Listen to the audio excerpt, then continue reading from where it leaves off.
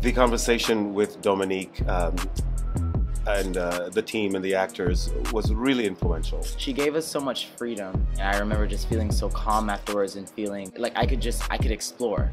You know, it's, it's really nice having a freedom to explore. She gave us that. It gave me personally and everyone I think a greater sense of responsibility to tell the truth and be as vulnerable and layered and as urgent as the people who created the story.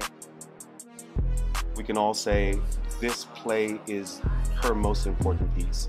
This is also the most important work I've ever done, the most impactful work that I have ever done in my life. As a director, um, the most that resonates with me is the truthfulness of it. For me personally, I came very close to being sucked into that pipeline. I could have been Omari. The thing that resonates most with me about Omari is how similar we are. As an actor, very rarely do I get to tell something so close to my story. Even though it's it's not the easiest thing to do, it's definitely the most rewarding, and I'm happy to, to take that journey every night. A little black boy can be in the audience and say, you know, that happened to me, or that's happening to me. Or an older black man is saying that's happening to me. You know, I'm, I'm happy to, to go through that. What resonates most to me about my character is her sense of fear for what the world and society can do.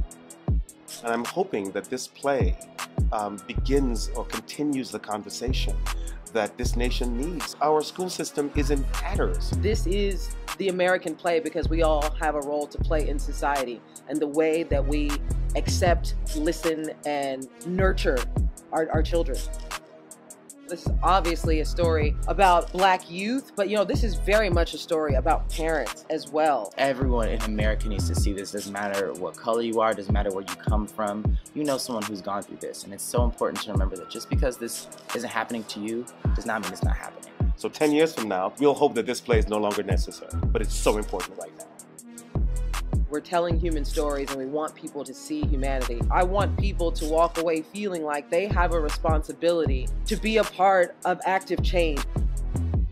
I hope the audience walks away thinking, um, even as they sit in the audience, as the lights come back up, that they look at each other and say, Did you know this was happening? These plays are a bookmark in our society, in our culture, in our world. It's a thought put on page to say, Please pay attention. What I hope the audience will walk away with is a sense of responsibility. We have to be more of a family. And I think that this, this play really shows that.